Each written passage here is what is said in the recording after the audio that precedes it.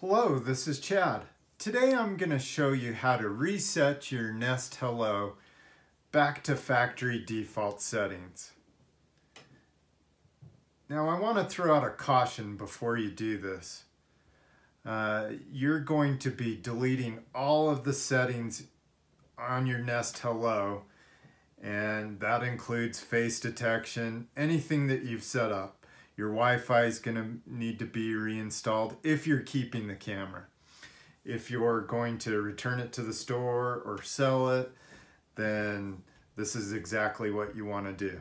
If you have something wrong with your account and and your Nest Hello is just haywire and you need the only thing you can do is reset it back to factory settings, then just keep in mind that you'll lose your videos, everything once you do this. Well, you won't lose the videos once you do this, but you will lose the videos eventually.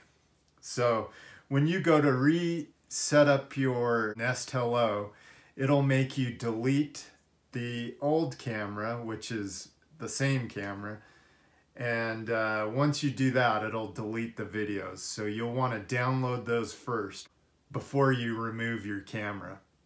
Uh, if you are keeping your camera, don't delete your Nest Aware account.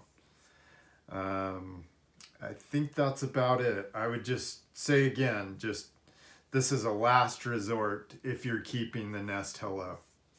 So let, let's get started. Uh, first thing we're gonna do is grab our removal tool that came with it. You can use a paper clip or a push pin.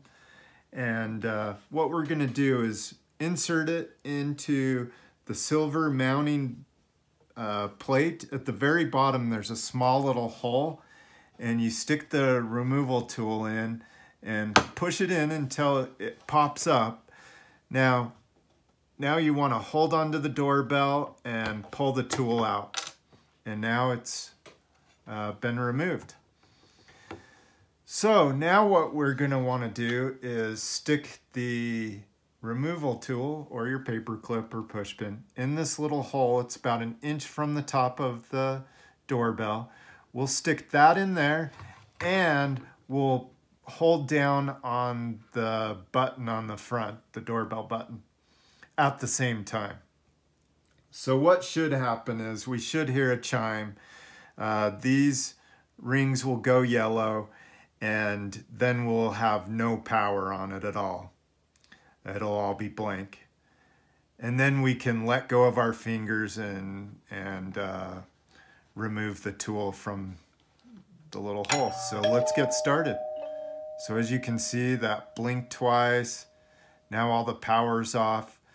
So this has now been reset. So we can go ahead, release our finger and pull the tool out. Uh, if you're keeping it, you can uh, well, you probably don't want to mount it back in because you'll have to take a, uh, you'll have to scan this on the back, the uh, QR code. And uh, if you're going to be selling it or returning it back to the store, then once it starts back up, you'll hear a chime. And once it does that, then it's ready to be removed.